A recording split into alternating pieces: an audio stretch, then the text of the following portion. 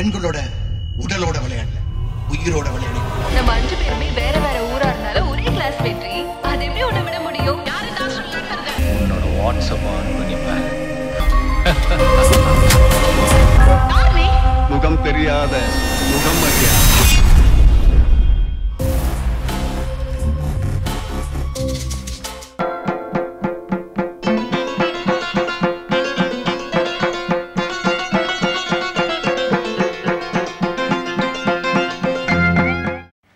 TV நேயர்களுக்கு வணக்கம் and welcome to the show என்றென்றும் சிவகுமார். தமிழ் சினிமா உலகத்தில் உதாரண கலைஞன் என்று பாராட்டு பெற்ற நடிகர் சிவகுமார் அவர்களுடைய அசாத்தியமான திரை பயணத்தில் நடந்த பல அபூர்வமான தகவல்கள் பற்றி இந்த நிகழ்ச்சியில் தொடர்ந்து உங்கள் கூட நான் ஷேர் பண்ணிட்டு இருக்கேன்.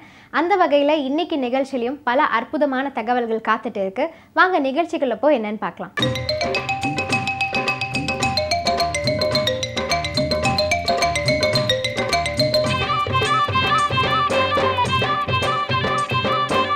நடிகர் சிவகுமார் அவர்களுடைய ஃபிலிம் கரியரில் இடம்பெற்ற ஒரு அற்புதமான திரைப்படம் தான் நான் பாடும் பாடல்.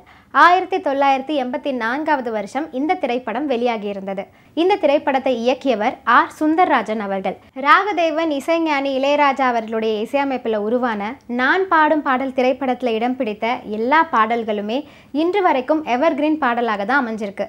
குறிப்பிட்டு பாடவா உன் பாடலை பாடும் வானம் பாடி போன்ற பாடல்கள் எல்லாம் ரசிகர்களின் மனதை கவர்ந்த பாடல்களாகவே இருந்தது.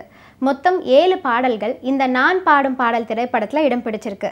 பாடல்களுக்கு உண்டான வரிகளை எழுதியவர் கவிஞர் வைரமுத்து முத்துலிங்கம் வாலி நா. காமராஜன் அவர்கள் மற்றும் கங்கை அமரன் அவர்களும் கூட பாடல்களை எழுதியிருக்காங்க. நடிகர் சிவகுமார் அவர்கள் இயக்குனர் ஆர். சுந்தரராஜன் அவர்களை பற்றி சொல்லும் பொழுது மிகவும் வித்தியாசமான ஒரு இயக்குனர் என்று குறிப்பிட்டிருக்காரு. எண்பதுகளுடைய தமிழ் சினிமாவை எடுத்துக்கிட்டோன்னா விதவை திருமணத்திற்கு ஆதரவாக கருத்து கொண்டு எவ்வளவோ திரைப்படங்கள் வேகமாக பரவ தொடங்கியிருந்தது. அந்த படங்கள் எல்லாம் வெற்றியும் அடைந்தது.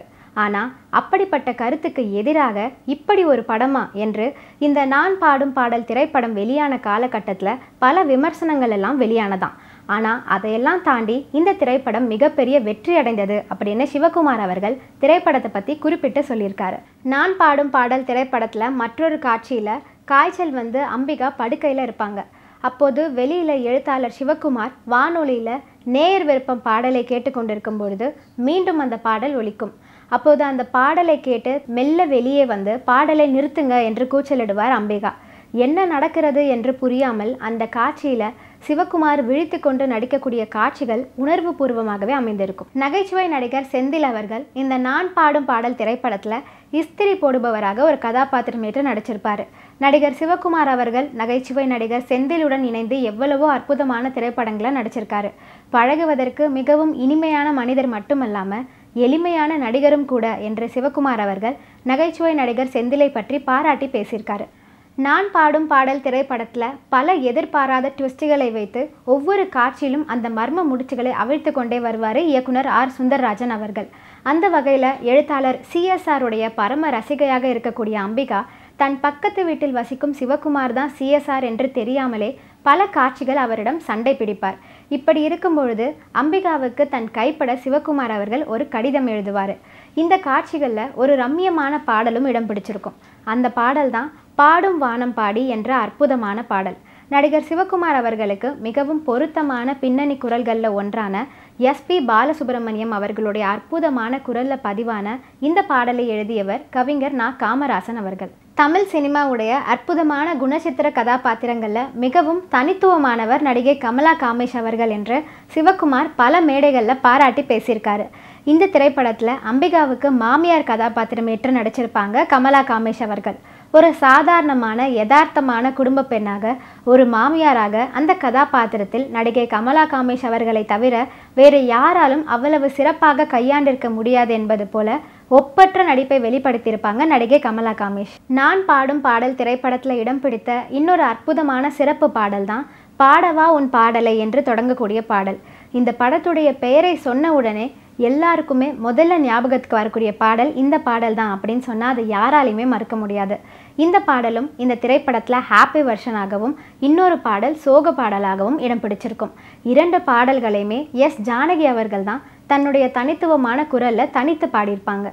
நடிகர் சிவகுமார் அவர் நடித்த நான் பாடும் பாடல் திரைப்படத்திற்கு பின்னணியில் ஒரு அபூர்வமான தகவலை பதிவு பண்ணியிருக்காரு. நான் பாடும் பாடல் திரைப்படத்துடைய சிறப்பே அந்த படத்துடைய கிளைமேக்ஸ் காட்சி தான் என்று சிவகுமார் சொல்லியிருக்காரு. அம்பிகாவுடைய அக்கறையை பார்த்து அதை தவறாக நினைத்து கொண்டு அம்பிகாவுடைய நெத்தியில் குங்குமம் வைத்து விடுவார் சிவகுமார் இதை கொஞ்சம் கூட எதிர்பாராத அம்பிகா சிவகுமாரை ஓங்கி அரைந்து விடுவாங்க. அது வரைக்கும் படம் பார்க்கக்கூடிய ரசிகர்களுக்கு அம்பிகாவுடைய மனசில் என்ன இருக்குது என்பதை வெளிப்படையாக சொல்லாமலேயே அழகாக திரைக்கதை அமைத்திருப்பார் படத்தோட இயக்குனர் ஆர். சுந்தர்ராஜன் அவர்கள். கடைசியில் பொட்டு வைக்கப்பட்ட தன்னுடைய நெத்தியில் நெருப்பால சூடு வைத்துக்கொள்வார் அம்பிகா. இந்த காட்சிகள் எல்லாம் அம்பிகாவின் நடிப்பாற்றலை பாராட்டாமல் இருக்கவே முடியாது. சமீபத்தில் நடிகை அம்பிகா அவர்கள் தன்னுடைய சோஷியல் மீடியா பேஜில் ஒரு அரிய புகைப்படத்தை பதிவு பண்ணியிருந்தாங்க. அந்த புகைப்படத்தில் நடிகை அம்பிகாவுக்கு சிவகுமார் மேக்கப் போட்டு விடுவது மாதிரி காட்சி இருந்தது. உண்மையில் இந்த படத்துடைய கிளைமேக்ஸ் காட்சியில் நடிகை அம்பிகாவுக்கு மேக்கப் போட்டு விட்டது நடிகர் சிவகுமார் அவர்கள் தானா.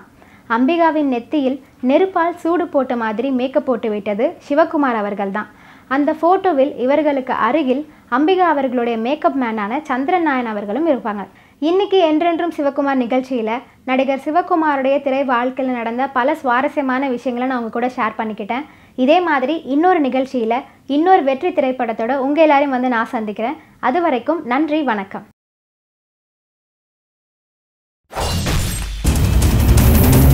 இந்த பாடியில எந்த விதமான பாலியல் காயங்களும் இல்லை. அப்படின்னா, அந்த குற்றவாளி இந்த பெண்களோட உடலோட விளையாடல உயிரோட விளையாடி. நம்ம அஞ்சு பேருமே